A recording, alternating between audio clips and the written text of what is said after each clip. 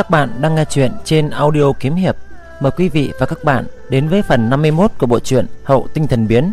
Người đọc Khánh Duy, nguồn Bạch Ngọc Sách Tàng Thư Viện. Mời quý vị cùng lắng nghe.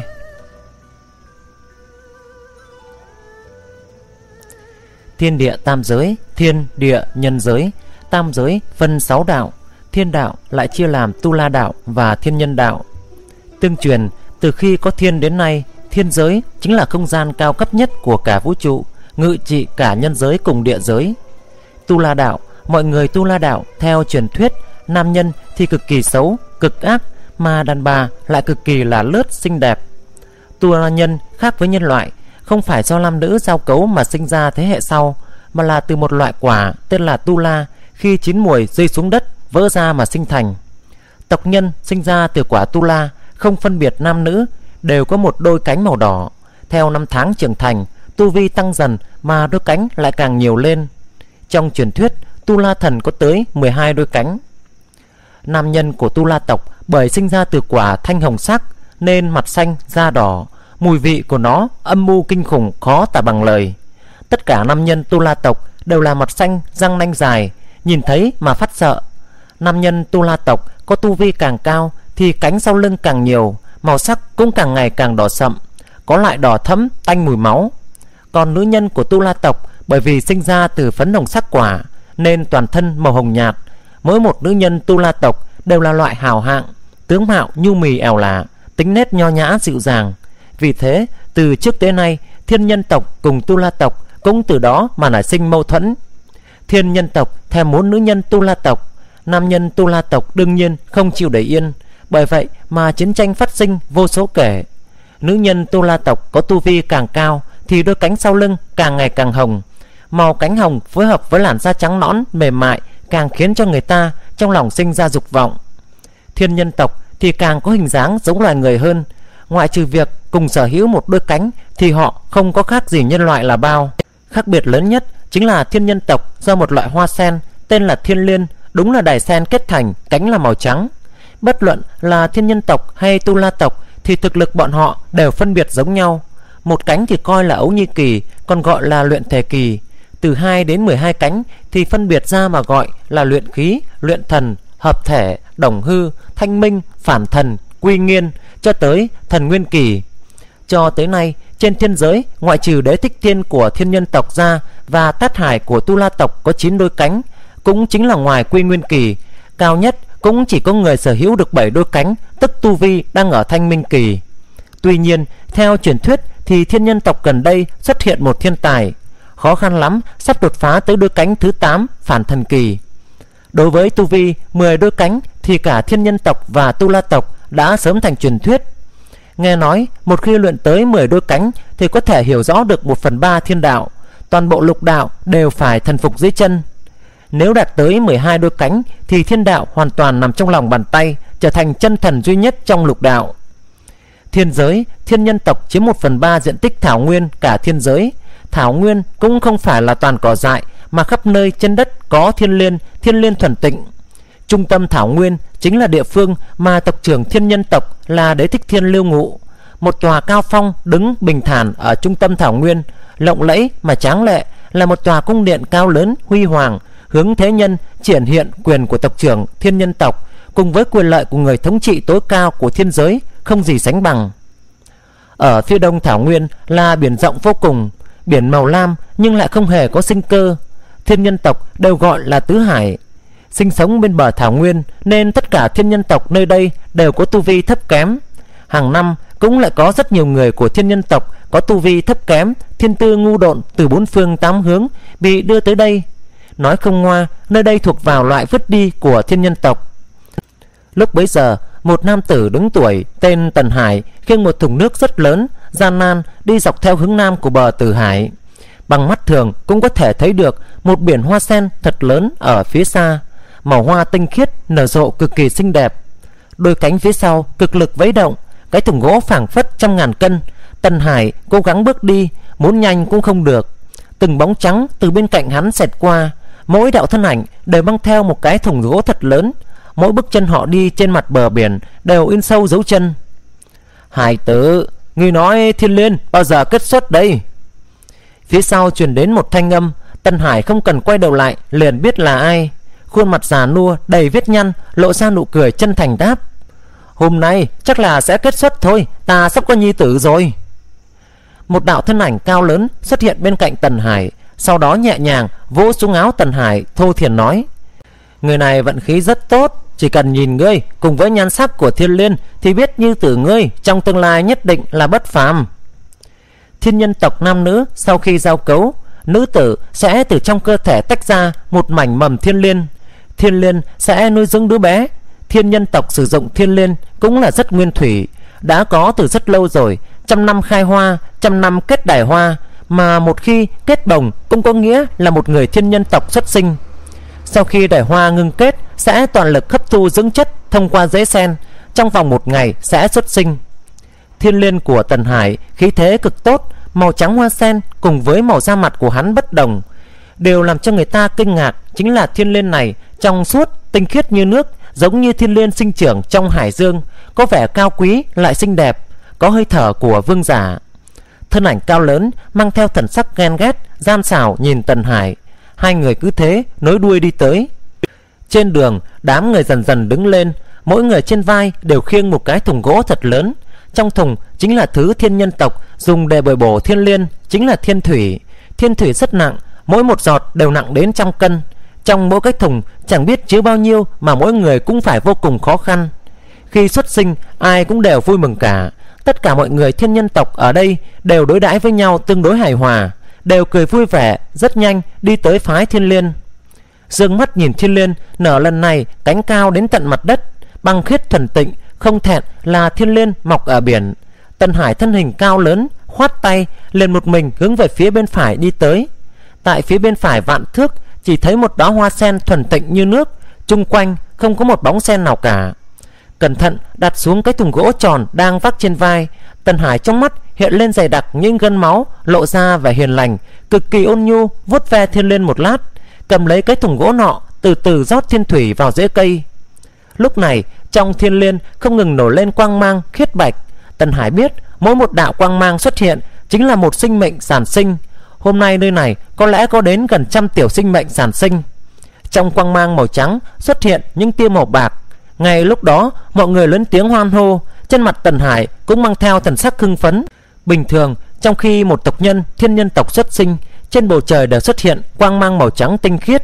Nếu là xuất hiện quang mang màu bạc, cũng là có ý nghĩa đứa nhỏ này trong tương lai sẽ đạt tới trên năm cánh, cũng chính là đạt tới đồng hư kỳ.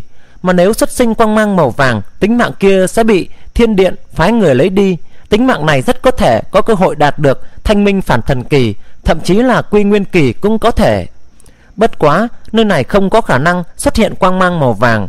Mỗi trăm năm xuất sinh một tính mạng mới có thể xuất hiện hai quang mang màu bạc đều là cực kỳ hiếm có rồi. Cho nên màu vàng quang mang có lẽ chỉ tồn tại trong mộng của thiên nhân tộc.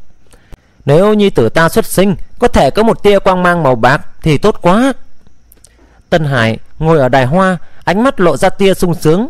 Dựa theo thiên điện quy định, nếu khi nhi tử xuất sinh xuất hiện quang mang màu trắng trong đó chỉ cần xuất hiện quang mang dị tượng nhỏ bằng sợi tóc thì bản thân hắn cùng thê tử có thể rời khỏi đây, một lần nữa trở lại Thảo Nguyên. Âm thanh hoan hô lại truyền đến, đang đắm chìm trong suy tư, Tân Hải lên hồi tỉnh, vỗ vỗ đầu, tự giễu cười cười. Dựa vào tư chất của hắn và thê tử, khi sinh ra, tư chất của đứa nhỏ cũng chỉ có thể là bình thường. Mặc dù mọi người nói thủy tinh thiên liên không giống với các loại khác, cũng không có cách nào thay đổi tư chất kém cỏi của hai người. Thiên Liên trước mặt đã động đậy, lá thủy tinh dần dần dựng đứng lên, mà tại trung tâm của hoa sen, một cái đài hoa chậm rãi kết lại. Tần Hải trong mắt hiện lên một tia kích động cùng hưng phấn, nụ cười trên khuôn mặt già nua bắt đầu hiện hiện. Vốn hoa sen trong suốt thì tại trung tâm của thủy tinh sen này chậm rãi kết thành đài hoa. Cho dù sau khi nhi tử xuất sinh, tư chất có kém cỏi cũng không ngăn cản được sự vui mừng khi sắp được làm cha của Tần Hải. Cha mẹ trong thiên hạ đều giống nhau, con cái vĩnh viễn là bảo bối. Lúc này, nam tử cao lớn mới cùng hắn nói chuyện trong tay, ôm một anh hải đi nhanh tới. Đã thấy Tần Hải chăm chú nhìn đài hoa thủy tinh cùng thiên liên kỳ quặc này lớn tiếng nói. Hải tử, nó là con gái à? Tần Hải bị nam tử cao lớn kia cắt ngang, rất nhanh quay đầu lại, ngón tay để trên miệng, suyệt một tiếng nhẹ giọng nói. Sâm tử nhỏ giọng một chút. Nhi tử của ta đang hấp thu dưỡng thân Không nên làm nó sợ. Thiên liên của thiên nhân tộc Nếu cánh hoa là màu trắng Thì sẽ là nam hài. Nếu toàn bộ đều là màu trắng Thì là nữ hài. Nghe được câu hỏi của Tần Hải Người tên Sâm tử cao lớn này Mặt vốn màu đen đã xuất hiện sắc hồng nói. Ta xem liên hoa này Màu sắc có chút nhàn nhạt, nhạt Vẫn tưởng là con trai. Tân Hải cười cười không có nói Chỉ là ánh mắt lộ ra thiện ý cười. Liếc mắt nhìn Sâm Tử, Xoay người lại, chuyên tâm vào thủy tinh thiên liên.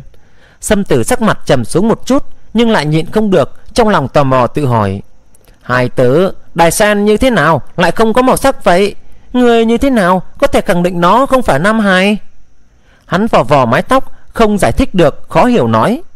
Lúc này trong thiên liên hải dương, Nhân số dần dần thưa đi, Chúng nhân lần lượt ôm các hải tử, Tự bản thân đài sen sinh ra, Có người cao hứng, Có người ủ rũ ly khai nơi này, Cùng quay trở về nhà. Tần Hải và Sâm Tử đều trận trừng mắt Nhìn về đài sen trước mặt. Chỉ thấy đài sen như thủy tinh trong suốt, Dần dần nứt ra. Một điểm đen tại trung tâm đài sen càng lúc càng lớn. Trong nháy mắt, liền hình thành một bộ dáng trẻ sơ sinh mà hoa sen do thiên liên đó lất tách sản tinh ra cũng dần dần khô héo phảng phất như bị hút cạn kiệt chất dinh dưỡng từ từ tàn lụi đi. Tần hải trên mặt lộ ra nụ cười vui mừng, đắc ý nhìn thoáng qua sâm tử nói, thế nào? Chính là nhi tử của ta. Ngươi xem ngươi xem, nó có giống ta không này? Sâm tử liếc mắt nhìn tần hải, thấp giọng mắng một câu, ánh mắt đặt trên đài sen lẩm bẩm nói, kỳ quái thật như thế nào không có thiên triệu à Thiên triệu, Đó chính là khi trẻ con xuất sinh, Trong nháy mắt phía trên đài hoa Phải xuất hiện quang mang. Mỗi một đứa trẻ mới sinh Đều có quang mang màu trắng tinh khiết, Mà phía trên đài hoa của nhi tử Tần Hải Lại trong suốt, Chẳng có quang mang gì xuất hiện. Tần Hải cũng chú ý tới tình huống dị thường này, Sừng sốt một chút, Lại cẩn thận nhìn thoáng qua sau lưng đứa trẻ. Đột nhiên giật mình, Khóe miệng run run, Nhìn đứa trẻ trong tay, Thiếu chút nữa là buông tay như tử của mình không có cánh. Sắc mặt Tần Hải cực kỳ khó coi, Vốn hưng phấn, lúc trước nay đã buồn bã hẳn. Không có thiên triệu, Cũng có nghĩa là ngay cả luyện thần kỳ Cũng đều không thể đạt tới. Sợ rằng cả đời chỉ có thể sống ở chỗ này, Không có cánh Cũng là từ đài sen xuất sinh. Rốt cuộc đây là người thiên tộc Hay là người tu la đây? Có lẽ cả hai đều không phải. Sâm tử tự hồ thấy nét mặt uể oải của Tần Hải Như trước thô thiển nói. Thật sự là kỳ quái mà. Cho tới bây giờ, cũng chưa gặp qua cái loại Cái loại loại hiện tượng cổ quái như vậy. Chẳng lẽ đứa nhỏ này đã bị thiên thần dùng bỏ sao? Sắc mặt Tần Hải dần dần khó coi, Hung hăng nước mắt nhìn Sâm Tử, Sau đó liền ôm lấy hạ Nam Hải kia Rất nhanh mà rời đi. Tần Vũ mở to mắt, Nhận thức được bốn phía trên vách tường Đều hiện nhiều điểm quang mang. Một cái cửa gỗ mục nát che trước cửa, Cơ hồ chỉ dùng để nối giữa hai tảng đá. Chiếc giường đá này cũng là vật dụng duy nhất trong phòng. Không khỏi thở dài một tiếng. Nhắm mắt cảm nhận bên trong, Tinh thần biến trong đan điền đã biến mất vô tung vô tích. Đây là thiên giới sao? Tần Vũ cố gắng ngước lên, Trước mắt hiện ra một đôi tay Trẻ con nhỏ bé. Không nói được, chỉ cười khổ, Trẻ con thiên giới cũng là mang bộ dáng như vậy sao? Trong nguyên thần trong suốt Có một cái hắc điểm đang phiêu phù, Đó là trí nhớ của Gia Gia và mọi người. Tần Vũ cảm nhận được nguyên thần bản thân cường đại và thần tịnh, trong lòng có chút an nổi Nhìn bộ dáng nguyên thần chắc là tiên thiên hỗn độn nguyên thần, cuối cùng cũng có chút thu hoạch. Một đạo thân ảnh mở cửa phòng, đứng trước mặt Tần Vũ, khuôn mặt già nua đầy nếp nhăn, da ngăm ngăm đen, không nhìn ra tuổi tác. Phía sau có hai cánh khiến Tần Vũ chấn động, người này như thế nào lại có cánh? Đôi mắt hắn nhỏ bé, tò mò nhìn trên mặt nam tử già nua kia nở ra nụ cười hiền lành Đôi cánh màu trắng trên lưng thật ra cũng rất đẹp. Nam tử già nua kia lặng lặng nhìn Tần Vũ nằm trên giường, Cứ như vậy sau hồi lâu mới thở dài một hơi, Rồi xoay người bỏ đi. Hắn sẽ không phải là cha mình đi chứ? Tần Vũ sửng sốt, Trong lòng liền có cảm giác không ổn. Trong lòng hắn chỉ có người cha ở Tần Gia Mới chính thức là cha hắn, Những người khác đều không phải, Cũng không xứng. Nghĩ đến nam tử đó, kiếp này sẽ là cha của mình, Trong lòng Tần Vũ có chút phức tạp. Suy nghĩ hồi lâu, Cuối cùng mới miễn cưỡng quyết định, Nếu hắn kiếp này là cha mình, Vậy vô luận là thế nào Cũng không thể phủ nhận. Phải đối với hắn thật tốt, Đợi mình lớn hơn một chút, Cuối cùng cho hắn một chút vinh hoa phú quý. Âm thầm thở dài, Tần Vũ nhắm mắt lại, Cố gắng dựa theo quy tích của tinh thần biến, Vận chuyển tâm pháp lên. Nghĩ bọn họ hôm nay khẳng định Cũng chuyển thế trọng sinh rồi. Nếu không nắm chắc thời gian tu luyện, Còn không biết khi nào thì có thể khôi phục thực lực trưởng cứng giả. Đến lúc đó, phải làm thế nào Giúp bọn họ khôi phục trí nhớ Nguyên vốn phương pháp tu luyện của tinh thần biến Là phải tu luyện ngoại công Đến cảnh giới tiên thiên đại viên mãn Nhưng Tần Vũ trải qua ngàn vạn năm Tu luyện và thể ngộ, Dần dần tìm tòi ra một phương pháp Không cần tu luyện ngoại công Đến cảnh giới thiên tiên đại viên mãn, vẫn có thể trực tiếp bước vào tinh vân kỳ. Chỉ là cho tới nay, tần gia đệ tử ít có tu luyện loại công quyết này. Thế nên chỉ là tìm tòi trong tưởng tượng. Ngoài cửa phòng rất là an tĩnh. Trong đan điền một điểm trắng cực nhỏ trong suốt chậm chậm xoay qua theo quy tích cố định. Nếu như tần vũ không dùng nguyên thần quan sát khẳng định là vô pháp phát giác. Vận khởi phương pháp tu luyện tinh thần quyết thúc động điểm trắng nho nhỏ đó vận chuyển linh khí xung quanh trong nháy mắt bị hắn hút vào trong thân thể. Ồ! Tần Vũ trong lòng kinh kêu một tiếng, chỉ cảm thấy linh khí kia đã không còn là hồng mông linh khí, cũng không phải hôi mông linh khí, mà là hỗn độn khí. Tâm thần đại chấn, tâm tạng Tần Vũ nhảy dựng lên, hỗn độn khí, đây là khái niệm gì đây? Dựa theo những gì Huống Thiên Minh đã nói, bản thân đã có tư cách về thành tựu thiên đạo. Điểm trắng nơi đan điền sau khi kinh qua Tần Vũ dùng nguyên thần thúc động, tốc độ xoay tròn như nhanh hơn, cơ hồ là trong vòng cháy nửa nén hương chuyển động một vòng. Tuy vẫn như còn chậm chậm, nhưng là so với tình hình lúc trước cơ hồ bất động thì đã tốt hơn quá nhiều. Từng đạo, từng đạo hỗn độn lực vô hình theo điểm trắng trong suốt bên trong đan điền xoay tròn dần dần tại bên trong đan điền, hình thành hình dáng một cái đạo tinh vân. Vốn thân thể nhu nhược cũng theo hỗn độn khí thu thập tiến vào mà cường hóa rất nhanh. Tần Vũ nhắm mắt giả thành bộ dạng ngủ say, Thực tế là cảm nhận cực kỳ thoải mái Cái cảm giác hỗn độn khí tiến vào trong cơ thể Suốt thời gian một ngày một đêm Tần Vũ từ đầu đến cuối Đều đắm chìm trong khoái cảm của tu luyện Mặc dù chuyên tâm tu luyện nhưng là vẫn như trước, rất cảnh giác. Mỗi lần có người tiến đến, xem ngóng, Hắn đều từ nội hô hấp chuyển thành ngoại hô hấp, Khiến cho người khác cho rằng hắn đang ngủ. Ngày của thiên giới và nhân giới, sai biệt không lớn. Dương quang sáng sớm vô cùng ấm áp. Tần Vũ chậm rãi thu công, thân thể cực kỳ nhỏ yếu, lại văng lên một trận phách phách ba ba. Hắn bị dọa, nhảy dựng lên, vội vàng thò đầu, hướng ra phía ngoài nhìn lại. Chỉ thấy ngoài cửa an tĩnh phi thường, cũng không có người nào khác chậm rãi, phóng xuất thần lực. Vừa mới tới năm thước, liền không cách nào tiếp tục. Hiển nhiên tu vi quá thấp, không cách nào nhìn đến chỗ xa. Nhưng dù chỉ có năm thước, hắn cũng thấy được một ít cảnh tượng. Nam nhân giả nua hôm qua và đứng một bên là một nữ nhân sắc mặt ngăm đen, ưu sầu ở trước phòng. Hai người sắc mặt yêu phiền, Không biết đang nói những gì. Điểm trắng trong suốt bên trong đan điền Đã lớn mạnh hơn. Hôm nay đã hình thành hình dáng tinh vân cỡ bằng đầu nắm tay, Chiếm giữ tại bên trong đan điền. Tần Vũ trong lòng nổ lên cảm giác Muốn cười một tràng to Không thể tưởng được hỗn độn khí này lại lợi hại như vậy Ngắn ngủi một ngày một đêm thời gian Hắn đúng là tu luyện với tinh vân sơ kỳ Mặc dù tinh vân này thực tại quá nhỏ Nhưng chỉ là vừa mới tu luyện Tần Vũ lúc chuyển thế xong cũng chỉ là vừa mới sơ sinh mà thôi. Trên khuôn mặt non nớt của hắn nổ lên biểu tình vui sướng. Dựa theo tốc độ này, chỉ cần không đến vạn năm thời gian, hắn là có thể đủ để thành tựu cảnh giới trưởng khống giả rồi. Nghĩ đến hôm qua tu luyện, Tần Vũ trong lòng cực kỳ hớn hở. Từ sau khi tự mình tiến nhập vào cảnh giới trưởng khống giả, lên một mực tự hỏi như thế nào không cần tu luyện đến cảnh giới tiên thiên đại viên mãn có thể tu luyện tinh vân quyết? Đã tự hỏi ngàn vạn năm dần dần có chút thể hội. Nhưng là thứ nhất không ai giúp hắn thí nghiệm. Thứ hai yêu cầu như thế càng cao cho nên mới chỉ dừng lại trong lý luận mà hôm nay chuyển sinh mục đích hàng đầu chính là muốn nỗ lực nhanh chóng để cao tu vi. Sớm ngày tìm được bọn người tần tư cũng là đưa bọn hắn trở về nhân giới. Cho nên mới thử nghiệm đối với hắn mà nói cho dù thất bại cũng không tính là gì. Dù sao nguyên thần hỗn độn tiên thiên tại nơi nào cũng phóng ra. Theo lời Huống Thiên Minh và nhi tử Tần Sương đã nói, đặc điểm lớn nhất của nguyên thần hỗn độn tiên thiên chính là có thể dung nhập hết thể linh khí trong thiên địa. Chủ yếu nhất chính là chỉ có là nguyên thần hỗn độn tiên thiên mới có thể đủ cường đại, tựa như nắm quyền khống chế thao túng thiên địa, lực lượng cao cấp nhất hỗn độn khí. Phương pháp lúc trước của Tần Vũ suy nghĩ ra cùng phương pháp lúc bắt đầu tu luyện tinh thần biến khác nhau rất xa. Tinh thần biến yêu cầu là trước tiên tu luyện đến cảnh giới tiên thiên đại viên mãn, cũng chính là ngoại công cực hạn, mới có thể từ ngoài truyền vào trong mà tu luyện tinh thần quyết. Mà Tần Vũ trải qua nhiều năm suy nghĩ, sáng lập ra một con đường bất đồng với mọi người. Đó chính là tại đan điền lưu lại một hạt giống. Loại hạt giống này là sẽ là hạt giống của tinh thần quyết. Về phần như thế nào lưu lại Tần Vũ trong lòng vẫn chưa có phương pháp. Nếu không phải lúc hắn xuất sinh Trong đan điền đã có một hạt giống màu trắng trong suốt Lúc này cũng không cách nào tu luyện tinh thần quyết. Cũng vừa vặn là bởi vì không biết nguyên nhân tại sao xuất hiện hạt giống màu trắng Tần Vũ mới thực hiện được suy nghĩ của hắn.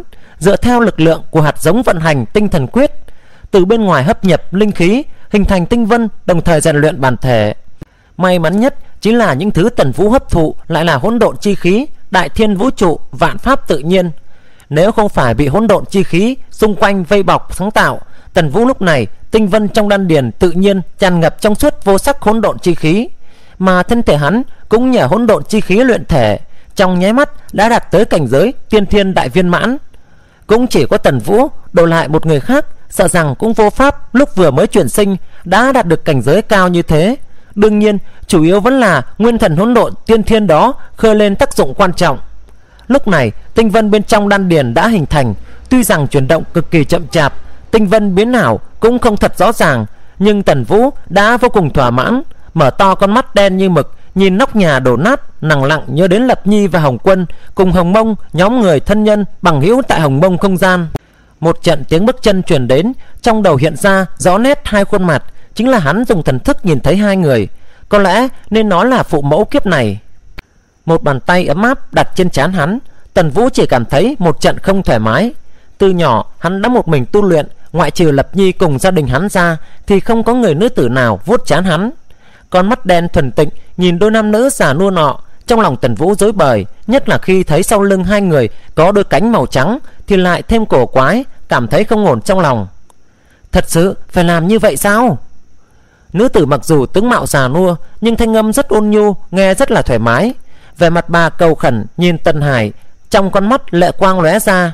Tân Hải trầm mặc một lúc, sắc mặt cũng không thoải mái gì, cắn môi như là hạ quyết tâm, hung hăng đạp mạnh lên cái bàn bằng đá, sầu muộn nói: "Nhất định phải đưa nó đi, nó không có cánh, khi mới xuất sinh lại không có thiên triệu, nếu bị người khác biết, chắc chắn sẽ giết nó thôi." Nhìn nước mắt trên mặt nữ tử chảy xuống, trong mắt Tần Hải hiện lên vẻ thống khổ bi thương nói. Đến lúc đó cả Thảo Nguyên đều sẽ biết chúng ta sinh ra một một quái vật. Chúng ta như thế nào có thể sống sót đây? Lão nương kia nước mắt giống như lệ châu Không ngừng theo những nếp nhăn chảy xuống Nhẹ nhàng vuốt ve Tần Vũ Sờ vào cái chán bóng loáng Không nói gì thêm Chỉ là trong ánh mắt giống không mất đi thần sắc Tần Vũ lúc này cũng đã hiểu được một chút ý nghĩa của những lời đối thoại kia không thể tưởng tượng được thiên giới lại giống nhân giới đến như vậy. Nghe được lão giả kia nói, trong lòng hắn liền phát lạnh. Tuy nói là trong tiềm thức không công nhận hai người này là cha mẹ của mình, nhưng dù sao hai người cũng sinh ra hắn trong thế giới này, cho nên Tần Vũ trong lòng vẫn là có chút cảm kích. Nhưng hôm nay nghe được lão giả kia nói, Tần Vũ không nhịn được sự lạnh lùng đó. Hổ dữ còn không ăn thịt con, hai người này làm cha mẹ chỉ vì sự an toàn của bản thân mà đem con mình vứt đi, thật sự khiến hắn cảm thấy rất thất vọng, buồn bã. Cẩn thận nghe ngóng hai người nói chuyện, Tần Vũ kinh hãi phát hiện nguyên nhân chính là trên người hắn không có cánh. Quá kinh hãi nên không để ý hai người bàn bạc mang hắn vứt đi như thế nào. Một đôi tay trắng kiện tức thì cầm chân Tần Vũ kéo lên, chỉ thấy bàn tay to lớn của Tần Hải cầm chân Tần Vũ dốc ngược, đầu chú xuống đất cứ như vậy lôi theo hắn ra khỏi phòng. Phanh! Một tiếng va đập kêu lên, Tần Vũ giận dữ Trong lòng nguyền rủa vị cha này Cứ như vậy xách hắn đi không nói một lời Lại làm cho đầu hắn đập vào tảng đá trước cửa Tuy nói đã trải qua hỗn độn khí luyện thể cũng đã trở thành ngoại công cảnh giới, Thiên tiên đại viên mãn. Nhưng Tần Vũ vẫn còn nhỏ, Vừa đau vừa biết được là lão giả này cố ý. Hai chân lão giả kia trước mắt Tần Vũ Lúc nhanh, lúc chậm, Mặt đất cũng dần dần biến đổi.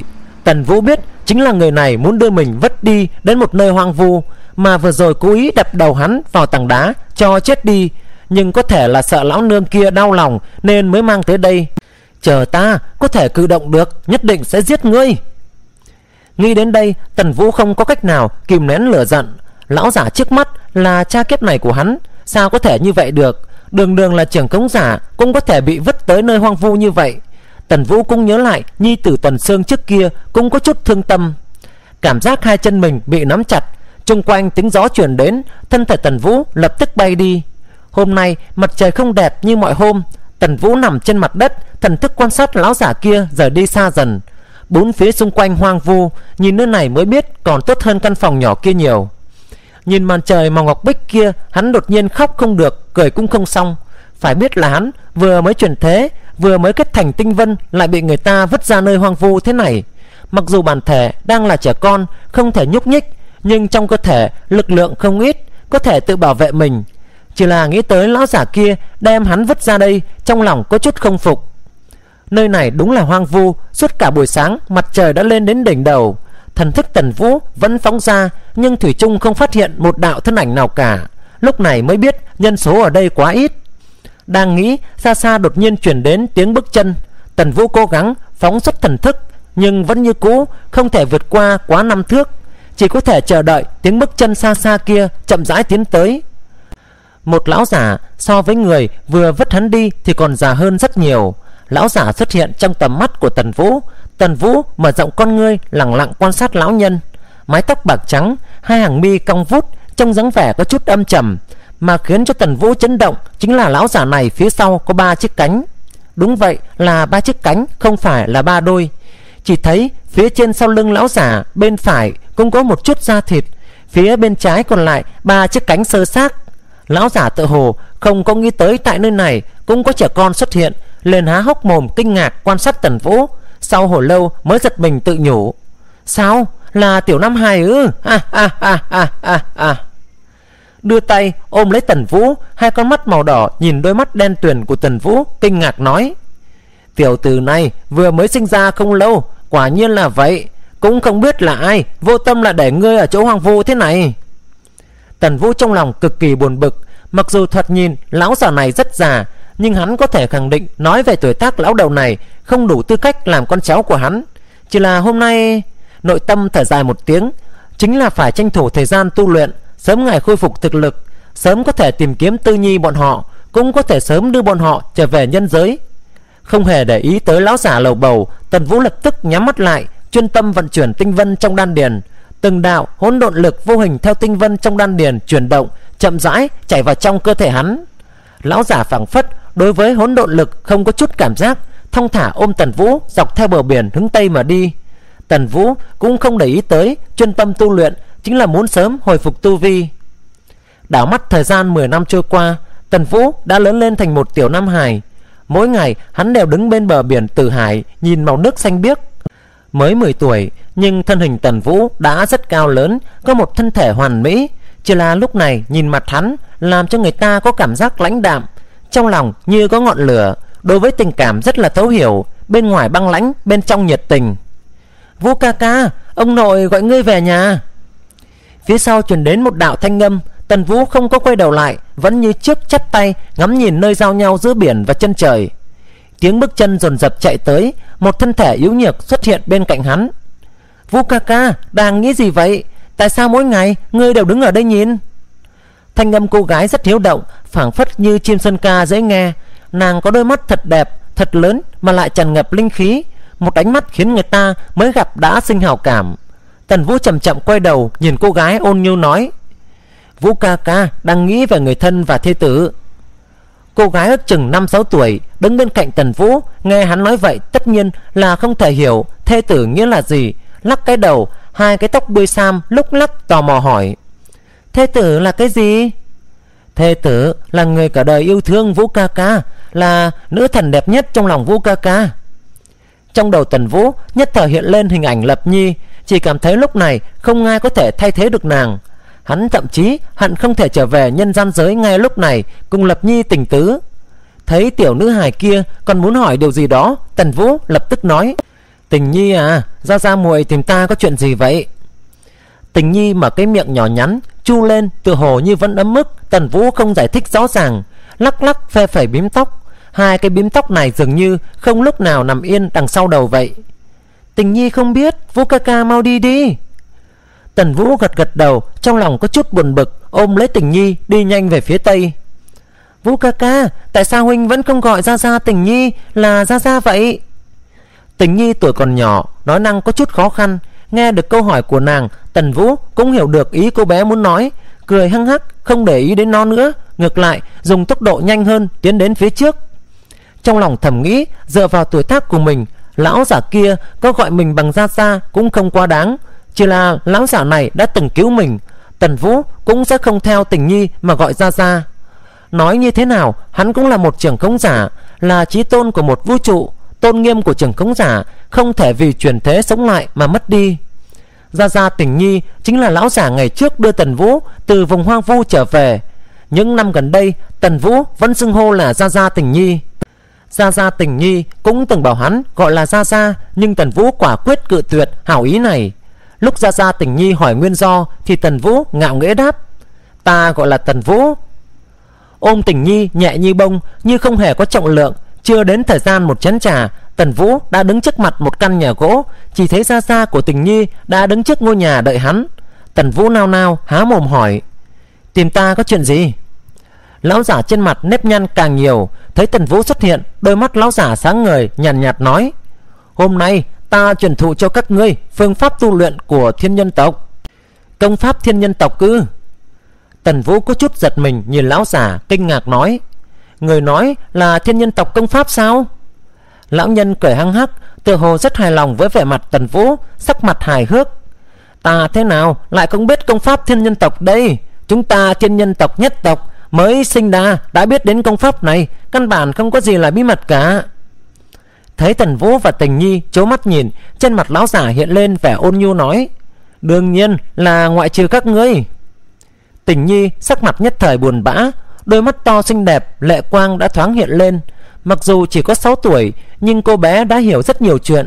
Chỉ là chẳng biết vì sao, Những năm gần đây lại tự ti về thân phận của mình. Lúc này, không thể kiềm chế được nước mắt ứa ra. Tần Vũ lại không thèm để ý Lên lời của não giả kia. Đối với hắn mà nói, Vô luận là thân phận thế nào cũng không quan trọng. Nhất là cho tới bây giờ, Hắn cũng không có coi Tần Hải là cha. Huống chi mục đích đến thiên giới Là muốn khôi phục lại trí nhớ của bọn Tần Tư. Còn phải dẫn bọn họ trở lại nhân giới cũng không nghĩ quá nhiều đến những người sống ở nơi này và chuyện phát sinh tại đây thế nào. Thấy sắc mặt Tần Vũ không có gì thay đổi, lão nhân nói: "Mặc dù ta không biết vì sao sau khi sinh các ngươi không có cánh, nhưng ta biết các ngươi nhất định là người thiên nhân tộc." Tần Vũ cười khẩy, không để ý đến lão giả, thiên nhân tộc ư là cái chủng tộc chó má gì đây? Mỗi người đều đeo theo mình một đôi cánh, thoạt nhìn thì đẹp thật đấy, nhưng là hắn không quen. Chúng ta mỗi tộc nhân thiên nhân tộc đều phải là thiên thần duy trì yên bình cho thiên giới, cho nên các ngươi nhất định phải khắc khổ tu luyện. Lão nhân sắc mặt nghiêm túc, giờ khắc này cũng mang theo một tia uy nghiêm. Tình Nhi trịnh trọng gật đầu, ngửa khuôn mặt nhỏ nhắn lên nói: "Ra xa, Tình Nhi nhất định khắc khổ tu luyện." Lão nhân gật gật đầu, lại nhìn về phía Tần Vũ, Tần Vũ cũng là nhún nhún vai, sắc mặt bình tĩnh, trong mắt cũng hiện lên một tia khinh thường. Chuyển sinh thiên giới, tiên thiên hỗn độn nguyên thần, bản thân hắn trời sinh đã có hỗn độn khí, tu luyện căn bản không cần tu hút hỗn độn khí cũng tự động ào ạt tiến vào thân thể, không ngừng cải tạo cơ thể và kinh mạch. Mà thiên tiên hỗn độn nguyên thần nguyên tắc tốt nhất vẫn là chậm rãi đi vào. Bởi vì ngoài hỗn độn khí, tinh thần quyết của Tần Vũ hình thành trước tiên là hợp lý nhất. Ở kiếp trước là hút lấy thiên địa linh khí, sau đó hình thành hồng mông linh khí, cho nên tinh vân, sau khi hình thành cũng toàn bộ đều là hồng mông khí. Ngay cả tiếp hồ không gian, tự nhiên cũng là hồng mông không gian. Mà sau khi chuyển sinh, bởi vì hắn trước đã hấp thu một bộ phận hỗn độn khí, hơn nữa khi chuyển sinh còn trải qua cải tạo nguyên thần, cho nên khi xuất sinh mới có thể trở thành hỗn độn nguyên thần. Cũng bởi thế mà tinh vân trong đan điền tần vũ hoàn toàn là do hỗn độn khí mà thành. Bổn nguyên lực này là lực lượng căn bản nhất trong vũ trụ khiến cho không gian của hắn cũng xảy ra biến hóa lớn. Chỉ là Tần Vũ hôm nay mới dừng lại tại Tinh Vân Sơ Kỳ, khoảng cách đến Trung Vân Kỳ cũng còn một đoạn xa, còn chưa hình thành hồ không gian. Một khi đã hình thành hồ không gian, Tần Vũ nhất định là rất kinh ngạc. Đây cũng chính là nguyên nhân mà Hồng Quân đã sử dụng mọi thủ đoạn để hắn chuyển tới, chuyển thế tới đây. Chỉ khi Tần Vũ trực tiếp nắm thiên đạo trong tay, trở thành thiên độc nhất vô nhị trong vũ trụ này, hắn mới có thể hiểu được dụng tâm của người con trai thứ hai. Lúc này, Tần Vũ trải qua 10 năm khổ tu, Mặc dù như trước vẫn dừng lại tại tinh vân sơ kỳ, So với tu vi của nhân gian giới là nguyên anh kỳ. Cứ như vậy tu luyện, Sớm muộn cũng có ngày nắm được thiên đạo. Hắn như thế nào lại quan tâm đến thiên nhân tộc công pháp này? Lão nhân thấy bộ dạng không thèm quan tâm của Tần Vũ, Thở dài một tiếng. Tần Vũ, Ngươi có muốn học thiên nhân tộc công pháp không? Tần Vũ trả lời, Tất nhiên muốn học Ta muốn xem công pháp của thiên nhân tộc có cái gì đặc biệt. Có lẽ đối với tu vi của ta có lợi, Cũng nên xem qua.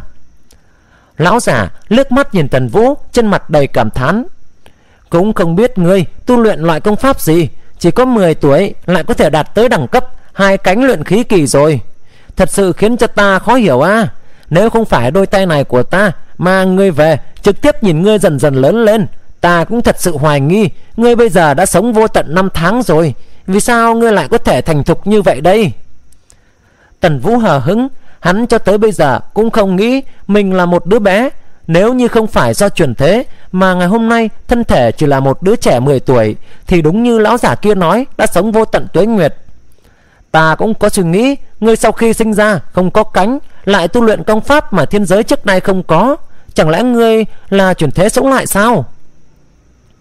Lão giả phảng phất lầm bầm, phảng phất quên mất là phải truyền thiên tộc công pháp cho hai đứa, Nói thầm Nhưng mà cho tới bây giờ, Cũng không có nghe nói Có thể qua luân hồi truyền thế Nếu là từ dực thiên vương, chắc biết à Tần Vũ nhún nhún vai, Mặc cho lão giả kia đoán này đoán nọ Tần Vũ ba người sống tại bên bờ Tử Hải, còn hơn gấp vạn lần cái căn phòng nhỏ khi mới xuất sinh hắn đã ở kia. Mỗi buổi trưa, thường có một cơn lốc rất mạnh thổi qua. Sau khi chuyển thế, Tần Vũ mặc dù không có đôi cánh nhưng trên người cũng mang theo một chút hình dáng của thiên nhân tộc.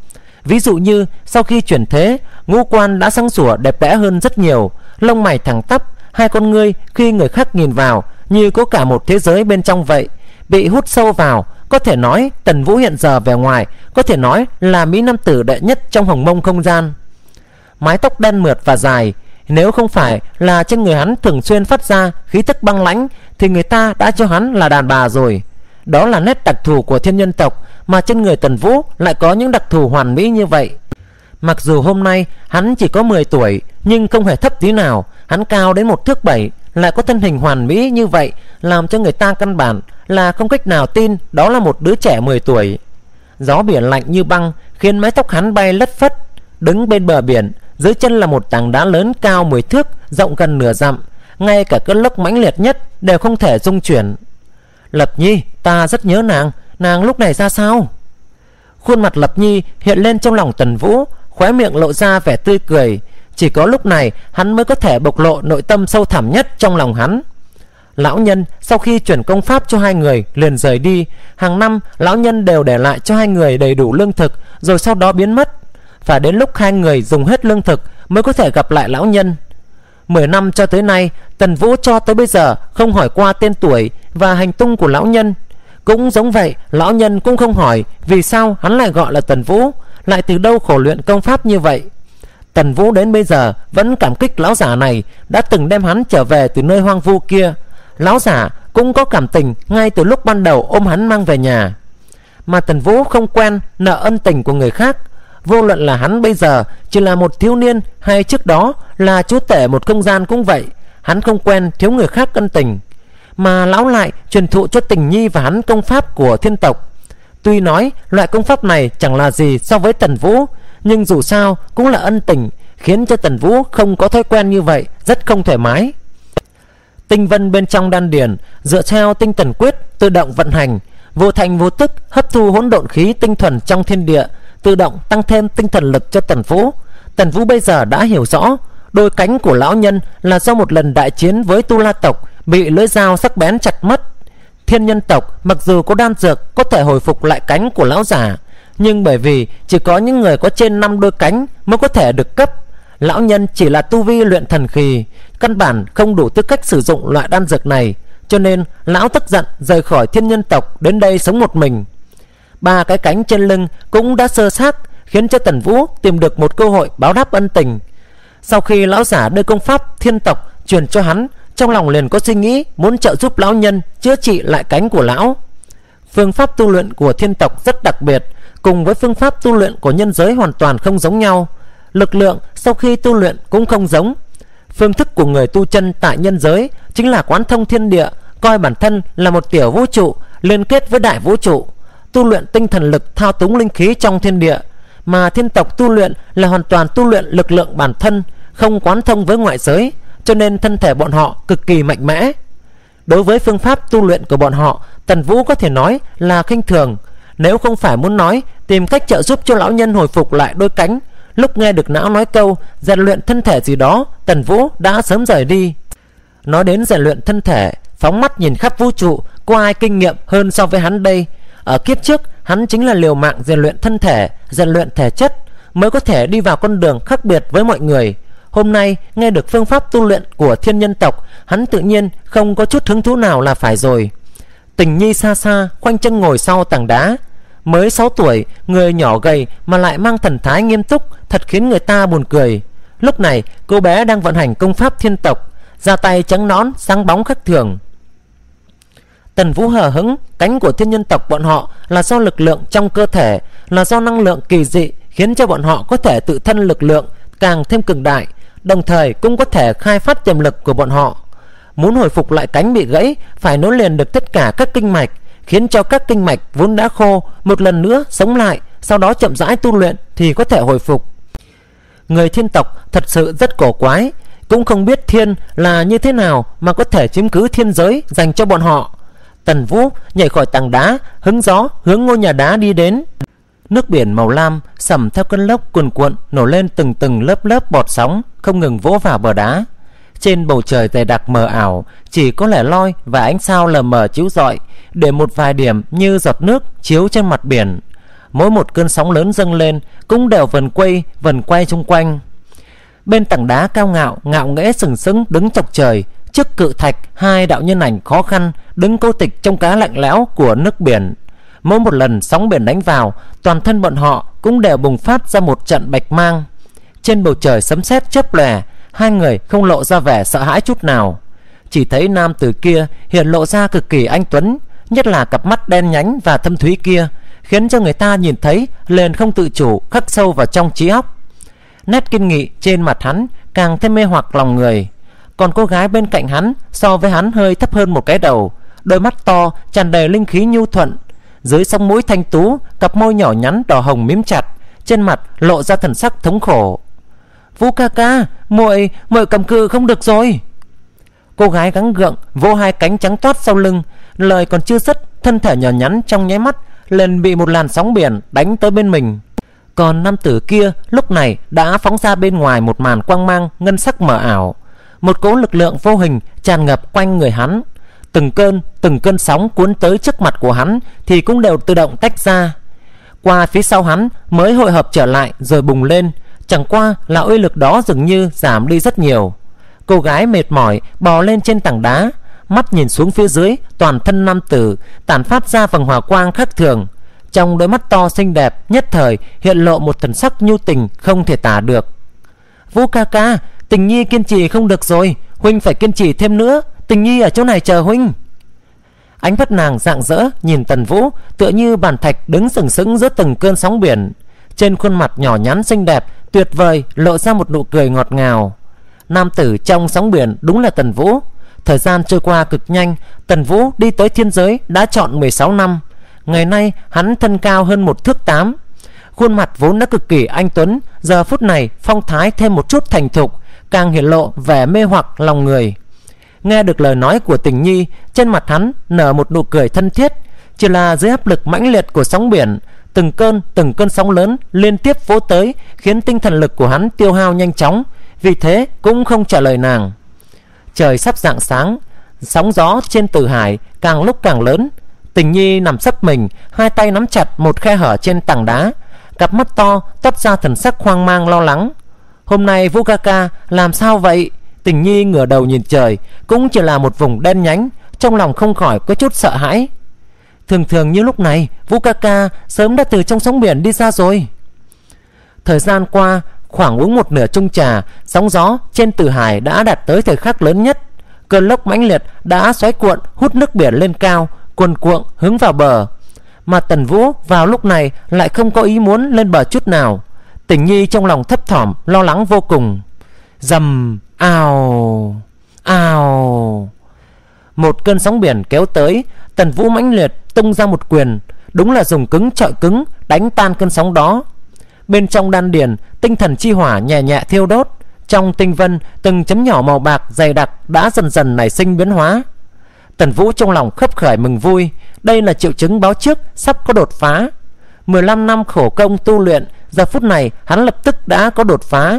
Dựa theo thực lực này, phân biệt được Đột phá đến tinh vân hậu kỳ, Hẳn là ngang với ba cánh bọn họ, Cũng đúng là đạt đến luyện thần kỳ. Kiếp trước, hắn tu luyện tốc độ cũng không chậm. Khi đó, hắn và Hắc Vũ điên cuồng cướp đoạt kim đan, Cho nên rất nhanh đã đạt tới tinh vân hậu kỳ. Mà chọn kiếp này, tuyệt không có kim đan Để cho hắn cướp đoạt, rút ngắn thời gian tu luyện.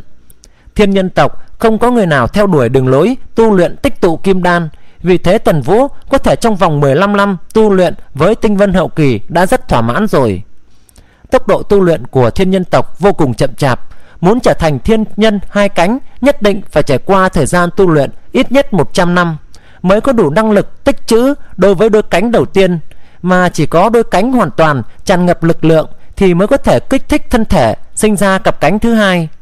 Cánh càng nhiều, nhất thiết thời gian tu luyện lại càng lâu dài giống như đôi cánh thứ tư, đúng là giới hạn khó vượt qua. Thiên nhân tư chất tầm thường hầu như không cách nào tu luyện thành công đôi cánh thứ tư cả. Một cơn phong ba sóng lớn, cuồng mãnh ảo tới, quanh thân tần vũ tản ra quang mang tinh thần màu bạc. Do hỗn độn lực, tinh vân cấu thành tại bên trong đan điền cấp tốc xoay tròn, từng đạo tinh thần lực từ trong ngân hạch phóng xuất ra. Ở chung quanh hắn hình thành một cái không gian độc lập, tinh thần không gian. À không đúng. Đây đây không phải tinh thần không gian, Phải là hỗn độn tinh thần không gian. Đúng vậy, Đây là không gian đầu tiên của Tần Vũ mới đặt tên, Bởi vì hỗn độn lực Chính là lực lượng đẳng cấp cao nhất trong toàn vũ trụ. Tần Vũ khi tản phát ra hỗn độn tinh thần lực, Cả trong thiên địa, Bất luận lực lượng nội lào, Tất cả đều bị hắn thao túng. Hỗn độn tinh thần lực xuất hiện ở chỗ nào, Tất cả lực lượng của Tứ Hải Đều bị khuất phục, Hoàn toàn chịu dưới sự khống chế thao túng của hắn. Trong tinh vân màu bạc, tinh hạch tách ra chậm chậm, nguyên tinh vân vốn là có hơi tơi xốp dần dần cứng chắc, rồi rào phong phú lên, mật độ càng lúc càng lớn. Tần Vũ nhắm hai mắt lại, cuồng phong thổi tung bay mái tóc dài của hắn, nhưng không cách nào dung chuyển thân thể của hắn. Tình Nhi nhìn thấy trong lòng rung động từng hồi. Hỗn độn, lĩnh vực tinh thần. Bất thình lình, Tần Vũ hét lớn một tiếng, chung quanh mình quang mang màu bạc, hừng hực hừng hực trải rộng. Từng đạo từng đạo gợn sóng không gian, Mắt thường cũng có thể thấy được. Lấy thân thể của hắn làm trung tâm, Hướng ra bốn phía lan rộng tới. Gợn sóng không gian màu bạc đó Lan ra đến đâu, Cơn sóng gió cuồn cuộn ngất trời đó Hoàn toàn tan biến mất, Hóa thành vùng biển màu lam sậm, yên tĩnh. Rằng co thời gian, Chừng cháy hết một nén nhang, Tần Vũ mới thu hồi gợn sóng màu bạc lại. Thân ảnh chợt lóe, xuất hiện trên cự thạch. Wow, Vũ ca ca, huynh quả thật là lợi hại.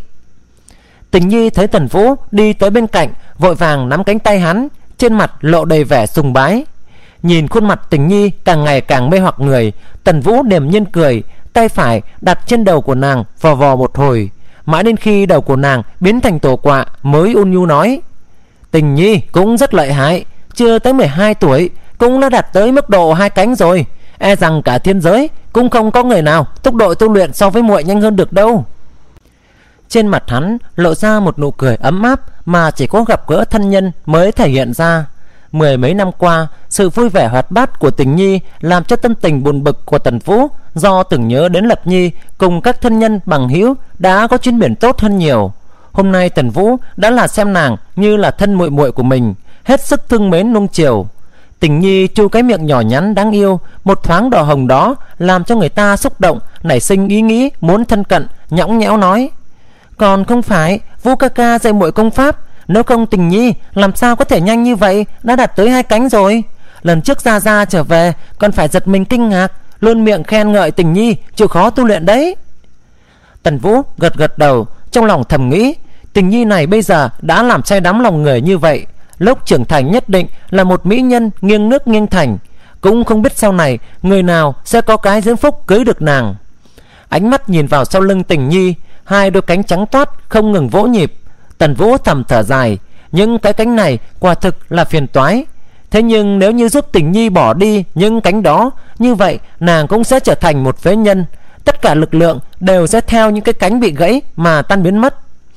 Nhìn khuôn mặt nhỏ nhắn xinh đẹp, thuần khiết của nàng, Trong lòng Tần Vũ thật không thể tiếp thụ. Nghĩ tới sau này nhất định phải qua lại nhân giới.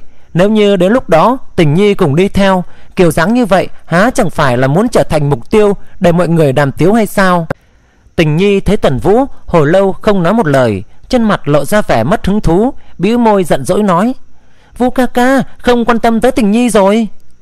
Dùng sức lắc lắc cánh tay hắn Dường như Tần Vũ phạm phải sai lầm rất lớn vậy. Tần Vũ giờ khóc giờ cười, Nắm bàn tay nhỏ bé, ấm áp của tình nhi, Hỗn độn lĩnh vực tinh thần màu bạc Bao trùm hai người, Hướng về phía thạch ốc mà bay tới. Đứng ở ngoài cửa thạch ốc, Tần Vũ đột nhiên kéo tình nhi ra sau, Đẩy cửa tiến vào, trầm giọng quát, Là ai? Thần thức của hắn cảm nhận được Bên trong thạch ốc có người, Mà lại không cách nào nhận thấy được gương mặt của người này. Trong lòng không khỏi Giới bị hết sức cẩn thận. Trong thạch ốc truyền ra một tiếng cười khẽ. Tình Nhi nghe được tiếng cười Lập tức hưng phấn lên kêu lớn. Gia Gia đã trở về rồi. Dứt lời đẩy cửa ra Thân mình nhoáng lên tiến vào. Tần Vũ cười cười Cũng thôi cảnh giác tiến vào trong phòng. Chỉ thấy ngồi bên thạch bàn Một vị trung niên nam nhân Vóc người cao lớn Tản ra uy thế nhàn nhạt, nhạt Trong mắt lóe tinh quang Thần thái quắc thước hồng hào. Còn sau lưng của ông hiển nhiên xuất hiện Chính là bốn đạo cánh Tần Vũ đánh giá cẩn thận nam tử hồi lâu, trên mặt lộ ra nụ cười chân thành, tiến đến ngồi xuống, nắm giữ Tình Nhi đang hưng phấn nhảy múa tung tăng nói: "Thiên Ngân, nhanh như vậy đã hồi phục rồi sao? Vậy mà lại còn tiến tới đẳng cấp bốn cánh, quả nhiên là lợi hại." Tình Nhi bên cạnh cũng hưng phấn kêu lên: "Ra ra, phương pháp Vũ ca ca chỉ dẫn cho người, quả nhiên là hiệu nghiệm thì phải." Nhìn trên mặt của người bây giờ Đâu còn dáng vẻ già nua lúc trước nữa đâu Thiên Ngân cười cười, sờ sờ gương mặt nhẵn bóng, ánh mắt vui vẻ, đầy yêu ái nhìn Tình Nhi, lại nhìn Tần Vũ, đầy cảm kích nói: "Cái này phải cảm ơn Tần Vũ rồi, nếu như không có sự trợ giúp của ngươi, sợ rằng đến nay ta vẫn còn là một người tàn phế." Tần Vũ mỉm cười nói: "Người không cần khách khí, nếu như ban đầu không nhờ người bắt gặp ta ngoài vùng hoang dã mang trở về, sợ rằng ta phải chịu đựng biết bao khổ sở đây đó." Quen biết nhau rồi, Ta có khả năng giúp đỡ, Dĩ nhiên phải dùng hết sức mà làm. Thiên Ngân cũng vui vẻ mỉm cười, Nhẹ giọng nói Người những năm gần đây có biến hóa rất lớn.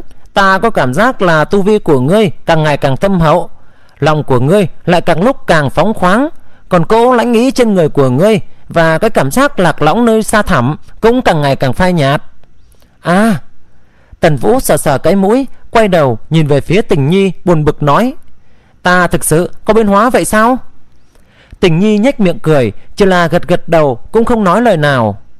Tần Vũ, Ta biết công pháp ngươi tu luyện Chính xác là cái gì, Cũng không biết tính cách của ngươi thuộc dạng gì, Nhưng đúng là một bằng hữu, Đúng, chúng ta chỉ bàn về bằng hữu.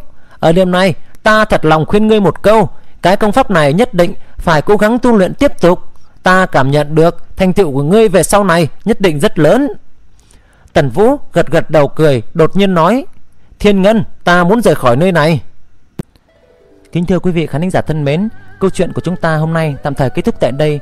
Mời quý vị và các bạn hãy dõi theo diễn biến của câu chuyện Trong các video sắp tới. Chúc các bạn nghe chuyện vui vẻ. Xin chào và hẹn gặp lại.